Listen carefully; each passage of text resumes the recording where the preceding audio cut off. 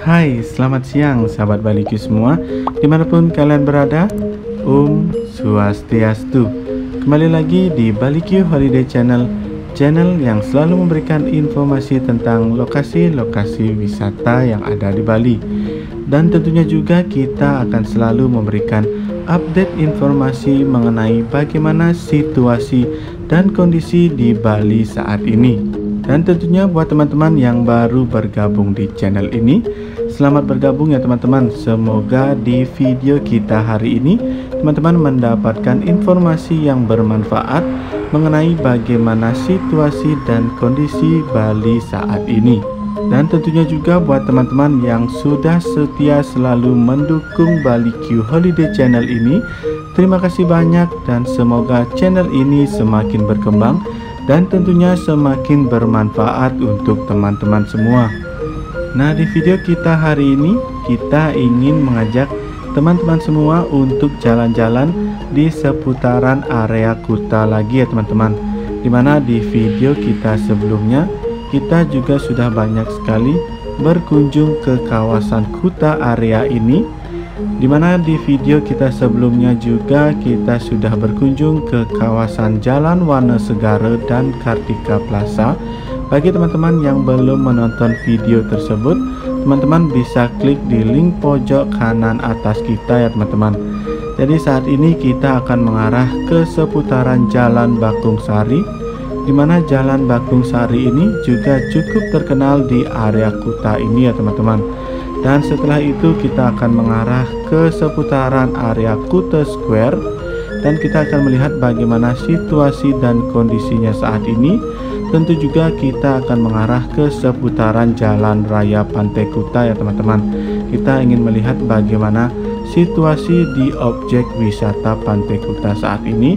Jadi teman-teman ikuti terus video kita hari ini karena kita akan memberikan banyak sekali informasi-informasi di video kita hari ini.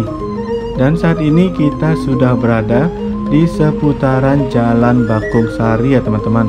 Di mana Jalan Bakung Sari ini pada waktu sebelumnya itu merupakan salah satu jalan yang terpadat di area Kuta ini ya teman-teman.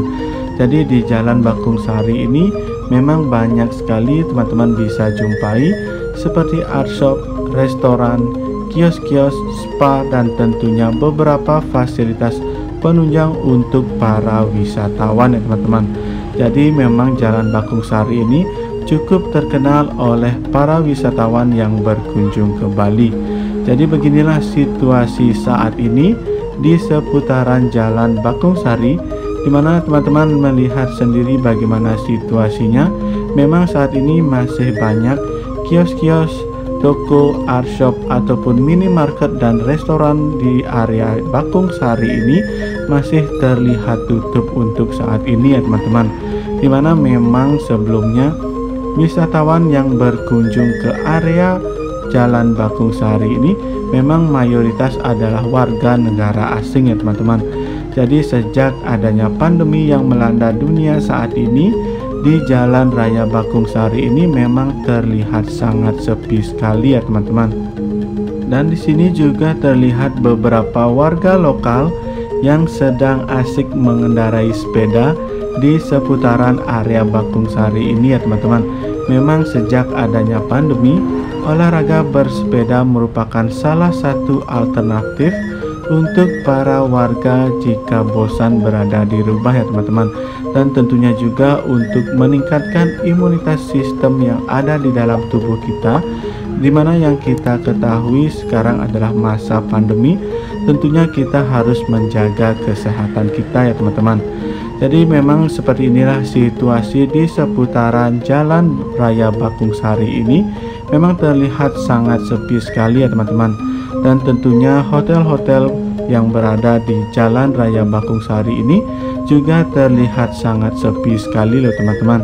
Di mana di sini teman-teman bisa melihat di sebelah kiri kita itu adalah Kuta Point, di mana Kuta Point juga terlihat sangat sepi dan di sisi kanan saat ini ini adalah kios-kios souvenir loh teman-teman yang biasanya sangat ramai tapi saat ini memang rata-rata terlihat tutup semua ya teman-teman dan kita akan langsung lanjut ya teman-teman di mana kita akan mengarah ke seputaran Kuta Square di mana kita akan melihat bagaimana situasi dan kondisi di area Kuta Square yang kita kenal banyak sekali toko-toko yang tentunya juga idaman para wisatawan jika berkunjung ke Bali ya teman-teman.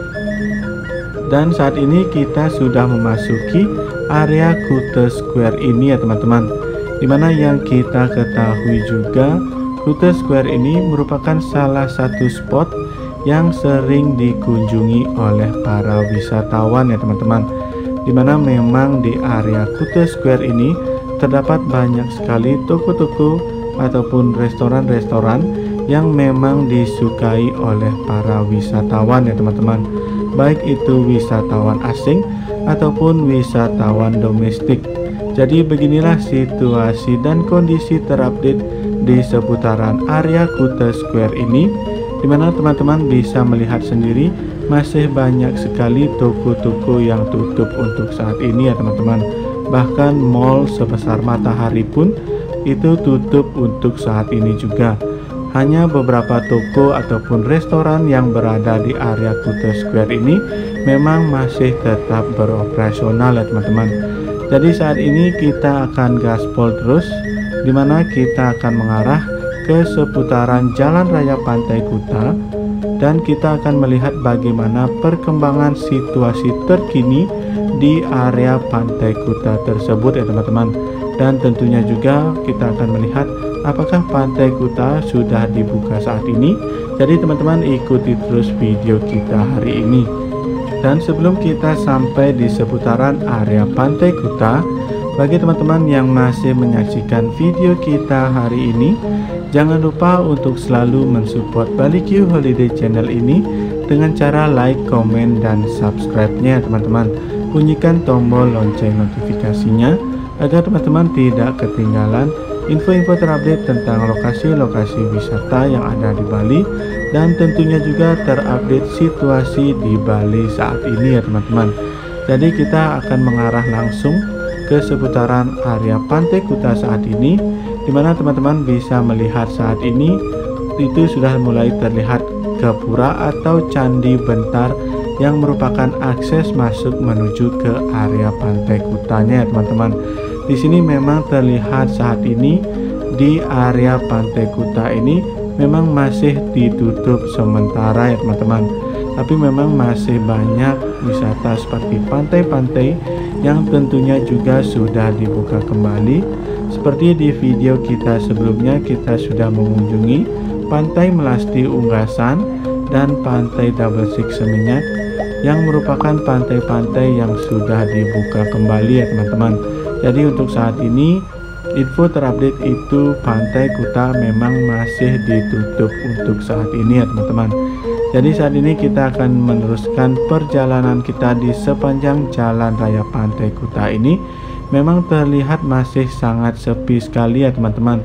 Minim sekali terlihat. Lalu lintas yang ada di seputaran jalan raya Pantai Kuta ini dan tentunya juga orang-orang ataupun masyarakat yang berada di seputaran jalan raya Pantai Kuta ini memang terlihat sangat sepi sekali ya teman-teman dan untuk informasi teman-teman semua, di next video kita selanjutnya, kita akan berkunjung ke kawasan Bali Selatan, yaitu area Jimbaran ya teman-teman. Jadi kita akan mengetahui bagaimana situasi terupdate di seputaran area Jimbaran. Tentunya teman-teman ikuti terus video kita di Bali Q Holiday Channel ini. Dan saat ini kita akan melanjutkan perjalanan kita ya teman-teman di sepanjang area jalan pantai Kuta ini dan di sini juga teman-teman bisa melihat kita banyak sekali melintasi beberapa restoran ataupun coffee shop di sepanjang jalan pantai Kuta ini memang terlihat masih sangat sepi sekali ya teman-teman dan di depan kita saat ini ini merupakan salah satu mall terbesar di area pantai Kuta yang memang terlihat masih sangat sepi juga ya teman-teman Memang karena ditutupnya objek wisata Pantai Kuta itu juga mempengaruhi kunjungan masyarakat lokal Bali di seputaran area Pantai Kuta ini ya teman-teman. Jadi saat ini sekian dulu ya teman-teman untuk video kita di seputaran area Pantai Kuta ini. Tentunya jangan lupa untuk selalu mensupport Bali Q Holiday Channel ini dengan cara like, komen, dan subscribe-nya teman-teman. Bunyikan tombol lonceng notifikasinya agar teman-teman tidak ketinggalan info-info terupdate tentang lokasi wisata yang ada di Bali dan tentunya update situasi Bali saat ini. Atas perhatiannya saya ucapkan terima kasih dan selamat siang.